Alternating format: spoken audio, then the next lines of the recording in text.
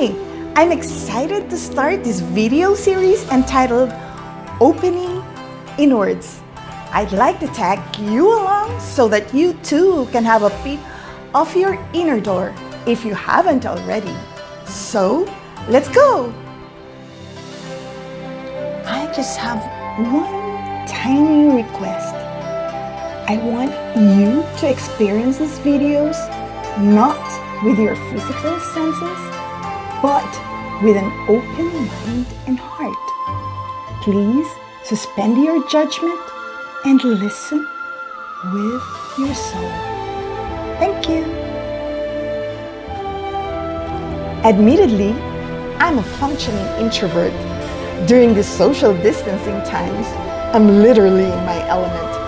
I've always enjoyed my own company, so naturally, with too much alone time, I started having continuous conversations in my head.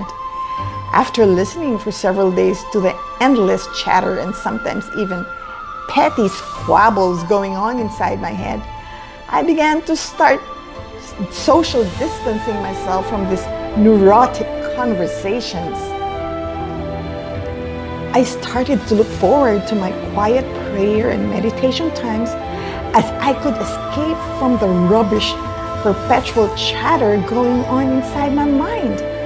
After several days of meditation, I realized that I was having this wonderful, profound, and meaningful, silent conversations with a spiritual being residing deep within me that had far more love, wisdom, and depth.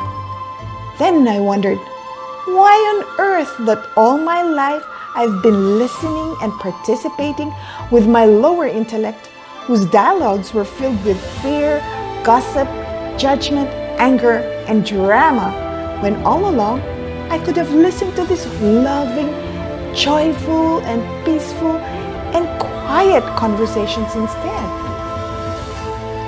I have gone through bankruptcy, separation and divorce, investigations and lawsuits, life-threatening accident, and single parenthood. But through all this, I never consulted my inner being during and after.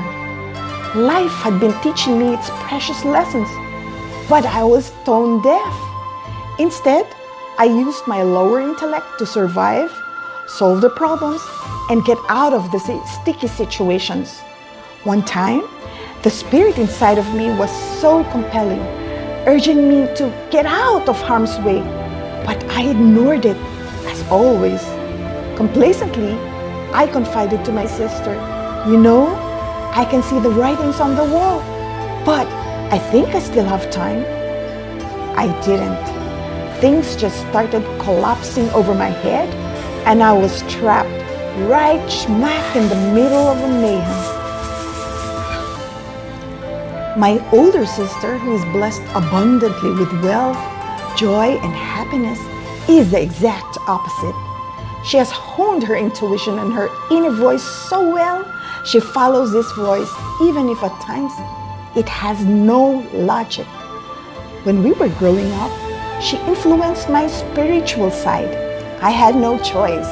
She's my big sister and I always tagged along for the ride. One time, she convinced me to go down the abyss, literally, where several informal settlers lived, to give away a significant portion of our wardrobe. As soon as we got back home, our mother decorated our bodies with red marks from her painful pinches. Our parents had worked hard to get those clothes for us. In our teens, during Christmas time, she persuaded me to buy gifts for everyone when all our older siblings already had families and children, and we were the only ones still unmarried. Since we did this every Christmas, whether or not I had surplus money from my allowances, inwardly I felt it was unfair that I was giving so much to their large families and receiving very little as I was single. As we got married and had our own families, we parted ways, and I reverted back to my old selfish and frugal ways, while she took her generosity and kindness to the next level. She helped hundreds of people in her community. She followed her inner spirit, telling her that love is giving and had nothing to do with what she receives. She lives her life in accordance to the dictates of her inner being. Hence, she is blessed with abundance, while I, well, that is what I'm working on.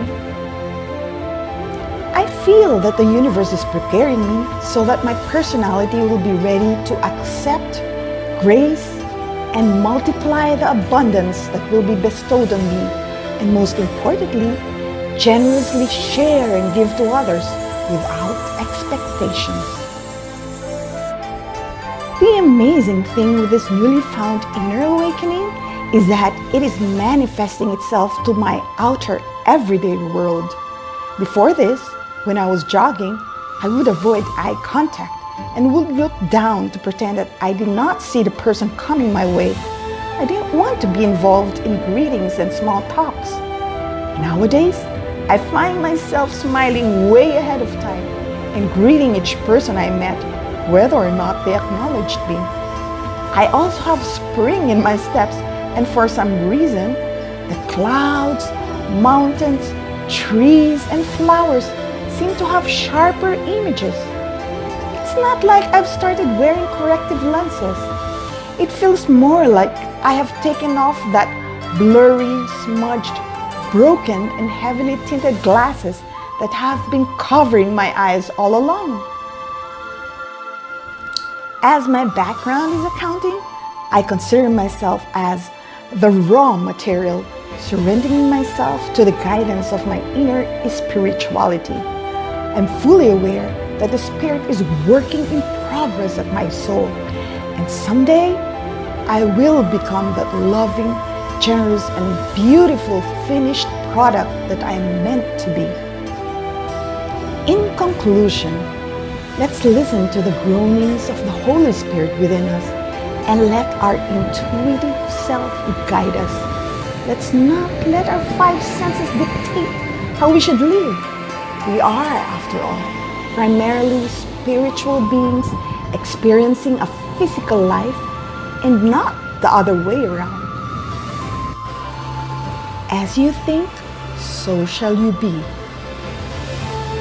The intuitive mind is a sacred gift, and the rational mind is a faithful servant. We have created a society that honors the servant and has forgotten the gift.